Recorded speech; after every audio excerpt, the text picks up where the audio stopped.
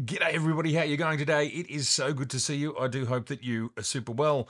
Today we're talking about the Yongnuo or the YN 50mm 1.8 AF lens for APS-C. And here it is on a ZFC, and in Z mount you could stick it on any of the Z mount cameras, but I suppose it goes best with a Z30, a Z50, or the ZFC. And what's crazy about this lens is right now it's as cheap as 117 US dollars. Is it for you?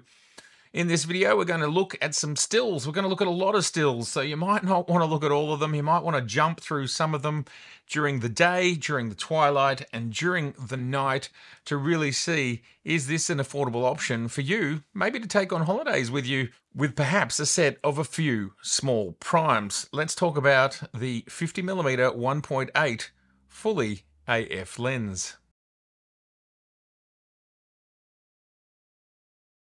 So yes, of course, you can put this lens on your full frame cameras and on a Z7, Z7 II, Z8 or Z9, you're going to get just shy of 20 megapixels. So that's fine. But I suppose if you do have a full frame camera, you may as well make the best of it. But it's still an option. At this price point, we're expecting a basic composite plastic lens hood. That's what it is. It sits on the front of the camera pretty well. Now, there is absolutely nothing to this lens.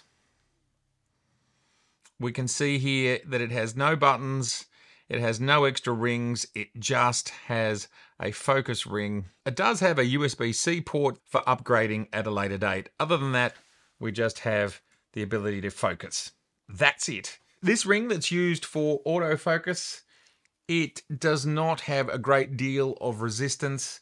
But yes, it works. Again, at this price point, my expectations aren't high. It has a 30.4 degree field of view, seven aperture blades, eight elements in seven groups. The minimum focus distance is 45 centimeters, which is around a foot and a half. And the weight of this lens is only 148 grams. It's pretty damn light absolutely makes this very easy to carry around. YN 50mm f1.8Z DA DSM. And we're working on the ZFC firmware version 1.60.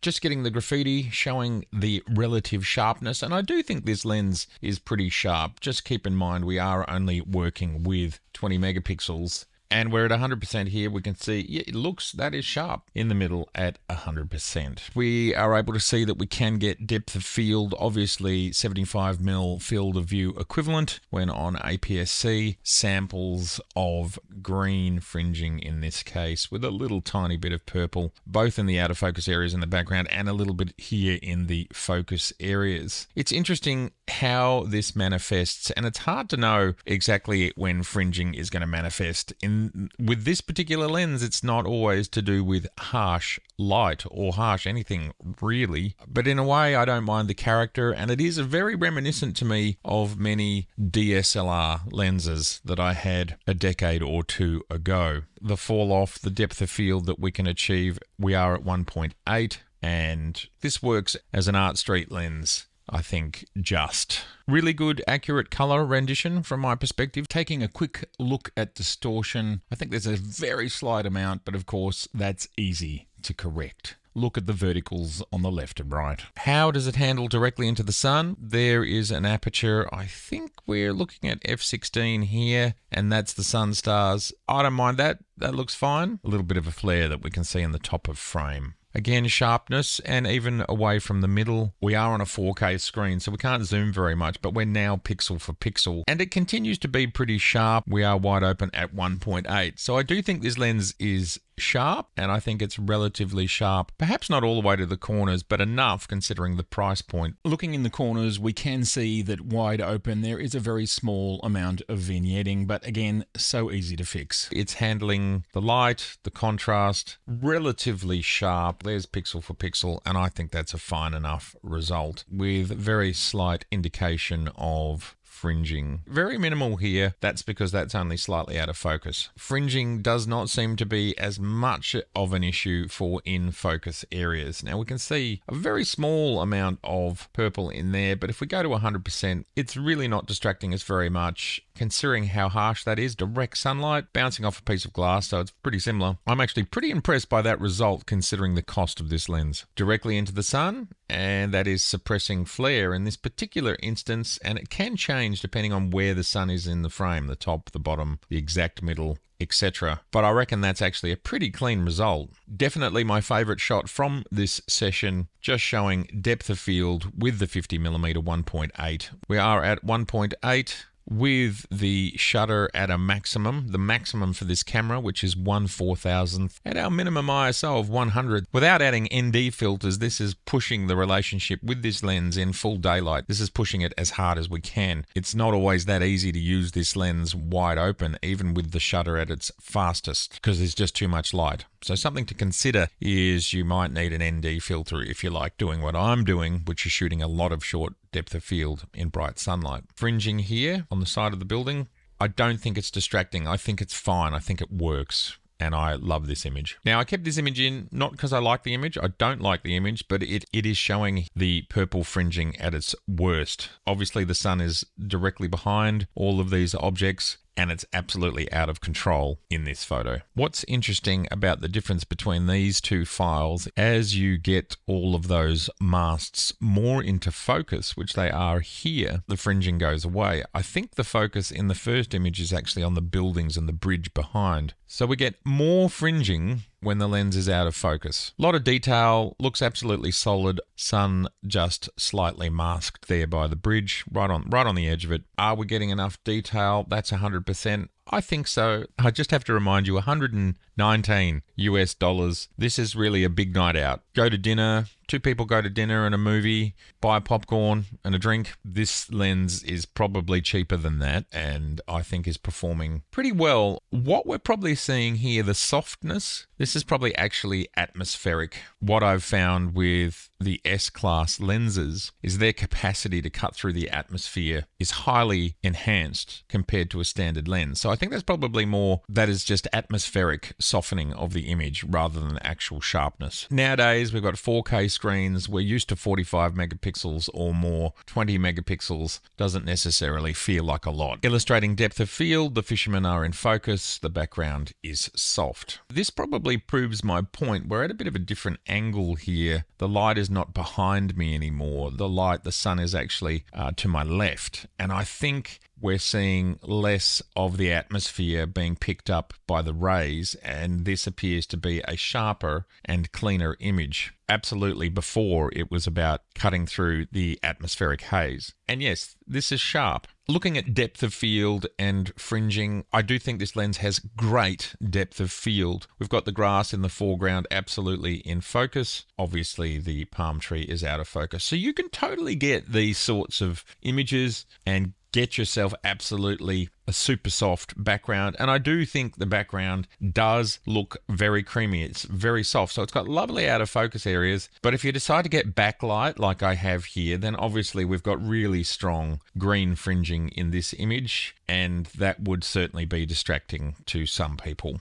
So something to think about there if you love this type of image you might find this too distracting. Now, of course, one way around this to solve it is you can go black and white. I'm even closer to the grass in this one, and the lens elements have changed again. And even so, there is still green fringing here. It is nowhere near as prominent. So it seems absolutely to do with focus and how how out of focus the background is. Where is it in its out of focusness? And in this case, I actually think this is quite a pleasant result. So what we're seeing here is lovely soft background bokeh. We're also seeing a flare, which I think is fine. That level of flare is fine, and fringing is minimized slash controlled enough to make this sort of level acceptable. This time the tree's in focus, foreground looks great, Uh, the deep background is soft, which is fine. I really like this sort of frame. The flare I can accept, and you could remove that if you wanted to. Interestingly, we still have plenty of green fringing, both here in the almost in focus areas, not quite, these are slightly out of focus, I think, but also we can see in the deep out of focus areas back here. All of those previous images were at 1.8, now we are at 5.6, and this is what I want to show you about this lens. We are still getting short depth of field.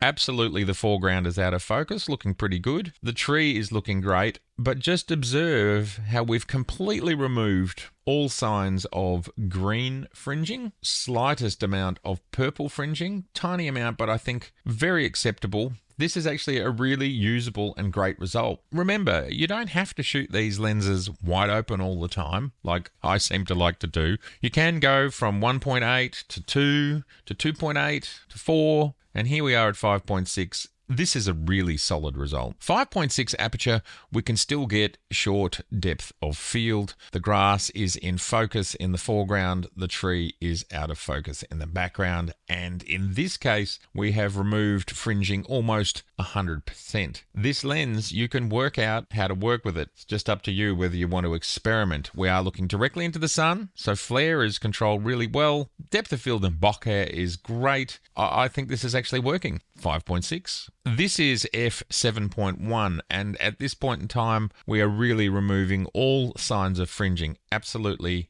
completely removed. We're still getting a slight flare. We are looking straight into the sun, but that level of flare is great. That is really suppressed. And thus, stopping this lens down really does give you a great result. Quite wow and quite sharp. A little selection of images, people running into the water, splash, there we go. But I love how this is being handled. I love how this looks. We are at 100%. This is a pretty harsh situation for any lens and I think it's handling it pretty well. Now, this flare that's coming through here, I'd been out shooting for a couple of hours at this point in time. It's hard to say whether that is some sort of build up on the lens or is that a flare? I'm not sure. I think it's probably a flare as the sun is getting really low in the sky. The sun is now set. I'm heading back towards the city. I do think this is handling this twilight really well. Those colors are great, and this is looking nice and sharp. We're now at 1 one hundredth of a second at f1.8. Just wanted to look at the relative sharpness here, the bokeh in the background, the fall off. It's a nice rendition, good colors. Again, we start to see a little bit of the green fringing, and that's something that you'll have to decide whether you want to shoot it at 1.8 whether that bothers you. We are still at 100 ISO, 1 one hundredth of a second, f1.8. We're getting clear depth of field here with the buildings in the background, nice and sharp. We're handheld. Let's not forget that the ZFC does not have in body image stabilization, and this lens also does not have in body image stabilization. In body image stabilization is something that I have become very, very used to because we've had it ever since the Z6, so that's now five or six years. And as we get into lower light, you just simply can't just keep dropping your shutter speeds lower. It's not it's not possible to do without stability, a tripod, and this and such. Something I want you to note here is we are getting purple fringing around this light, but at standard viewing distance, totally fine. This guy was coming towards me at about 25 kilometers per hour. The ZFC in the dark was able to focus on him, no problem, face recognition. We're now getting into nighttime territory. Our ISO has gone up to 800. We are 1 40th of a second, 1.8. I think this is handheld. Remember, this is 75 millimeters field of view equivalent. For me, getting much slower than this starts to get difficult. Maybe round 125th is going to be the limit. As a tourist lens, you have to start to crank up your ISOs. 800 is still fine. You might get away with 1600. Here's a cafe at night at ISO 800. I think this looks really great. That, that's quite a, a lovely rendition. The Art Center Spire, we are at ISO 800, 160th of a second, 1.8. This turned out great. This is actually a really good nightscape. ISO 400, 150th of a second, f1.8. A great result handheld at night with this lens. Pretty good results. I mean, look, I'm used to working with the 50mm 1.2, the 85mm 1.2, and the Plena 1.8. Outstanding lenses. This is not at that level, but it's not at the price. It's like 20 times cheaper. Now, as I was concluding my session, I was going through Birrarung Marr, which is a massive park. Uh, just out of my peripheral vision, I captured this little guy shooting at 6400 ISO 180th of a second f1.8. So it does show that you can push these ISOs and still get quite compelling results, to be honest. I think that's a pretty good result considering that's a fox in the dark and that is just the light from my bike illuminating. Very happy to be able to achieve this wildlife photography with a ZFC and a 50mm 1.8 APS-C lens. That's pretty cool. In the dark, very small amount of light. Then just looking back at the city, a bit of a cityscape here. Uh,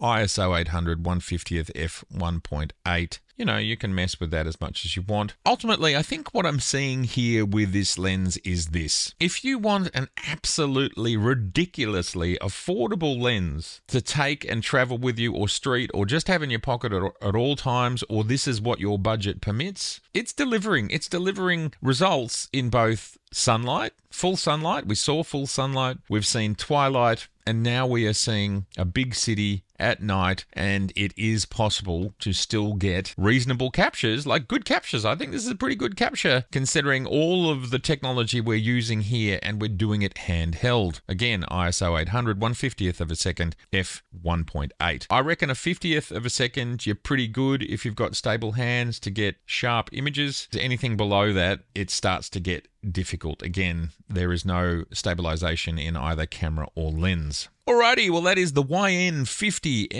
1.8 for Z mount. The price is right. If you're looking for something like this, it's hard to beat. All right, everybody. Well, thank you so much for watching this episode. This is a super duper affordable option for, I think, mostly APS C shooters, whether you're on your Z30, your Z50, or your ZFC just such a fantastic entry level lens, which will get you going.